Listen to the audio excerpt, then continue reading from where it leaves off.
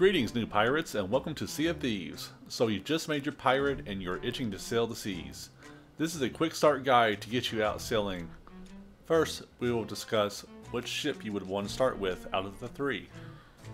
The sloop, the smallest of the three, holds two crew members. It has one sail, two cannons. This is the slowest ship with the wind, but it is also the quickest ship against the wind, and it's also the easiest to maneuver, making it a choice for solo players. The Brigantine, or Brig as commonly referred to in game, is a mid-sized ship. It holds three crew members, has two sails, four cannons, it's a good balance between the sloop and the galleon. The galleon, larger ship, holds four crew members, has three sails, eight cannons, the hardest ship to maneuver by far, but is also the fastest with the wind, but slowest against the wind. The difference between open crew and closed crew is open crew lets anybody join the game. Closed crew is invite only, or anybody your friends list can join your game. For a new player, if you want to jump in and play with your fellow pirates, I recommend the Galleon on an open game.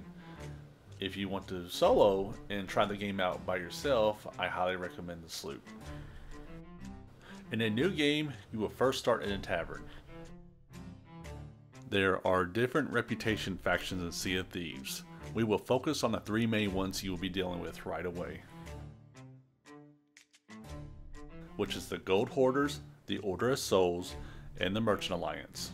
Gold Hoarders, recognized by their green tints and key symbol, this faction offers voyages that have you sailing around the world to find buried treasure. There are two different types of Gold Hoarder maps. A simple map that has an X marks the spot, or it has riddles, clues that reveal themselves along the way to help you find the location of the buried treasure. When you find treasure chests, this is the guy you sell them to. Order of Souls, located in the purple tents surrounded by skulls. This is a bounty voyage, a kill quest of sorts. You get a wanted poster of undead skeleton captains. The number of captains will range from 1 to 4, and there is usually waves of undead skeletons until the captain spawns, and you will kill them and claim their skull. This is who you sell the skulls to. Merchant Alliance. They are located on the dock with a map next to them.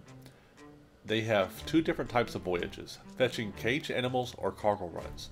There are three types of animals to fetch, chickens, pigs, or snakes. Cargo runs is a point A to point B style voyage. You pick up cargo at one person, read the delivery note, and take it to the person located at point B. Now let's bring up your inventory wheel. Your limited supply items are bananas, used for restoring your health, cannonballs, and planks of wood to repair your damaged ship. Next is your spyglass, used for scouting. Right click to zoom in on selected areas.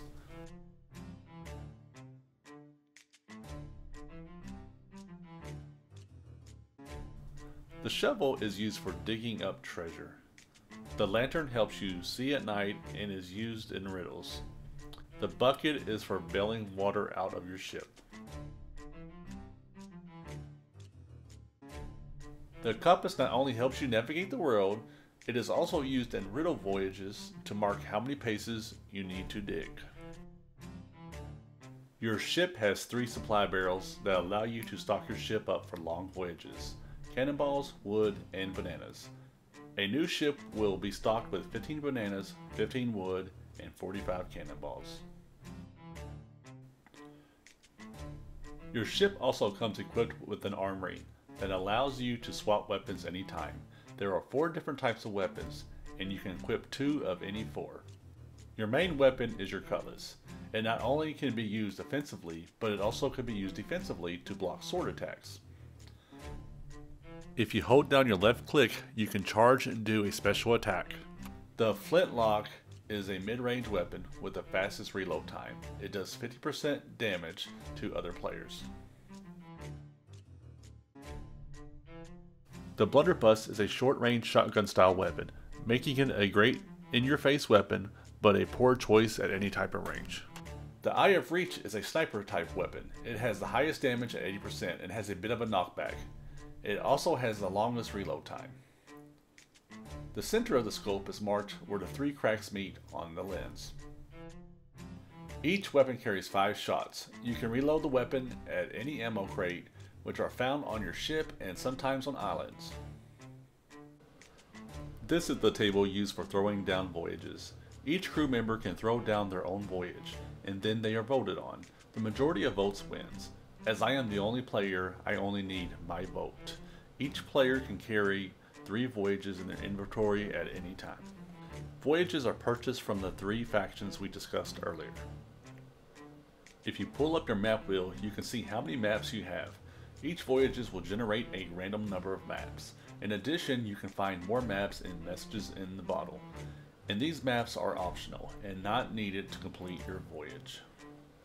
This is the map table that will give the location of your ship and help you find the islands that are located in your voyage. When you find the island that you are looking for, you can simply left click on it to mark the location of the island, making it easier to find later on. Capstan is used to drop and hoist the anchor. When raising the anchor, the more players on it, the faster it will raise.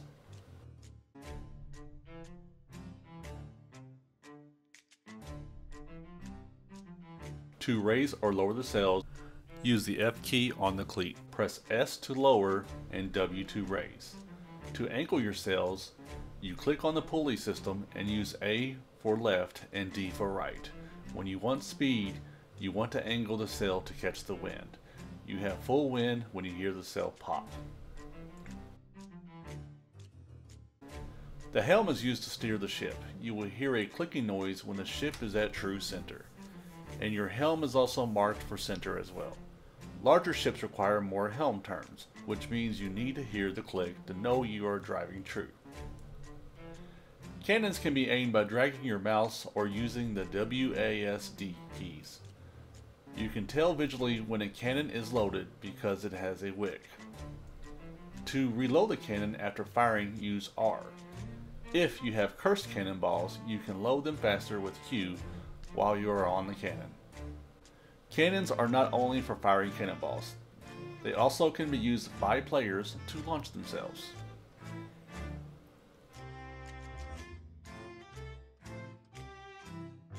If at any point you are too far away from your ship in the water, a mermaid will spawn and take you back to your ship.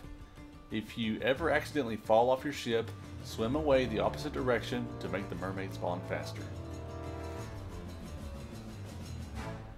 Your ship has lanterns outside and inside. Most people turn off their outside lanterns to make it harder to be spotted by enemy ships. If you need to repair your ship, make sure you have planks of wood in your inventory. Repair your ship and then bucket out any existing water to keep your ship from sinking in the future faster.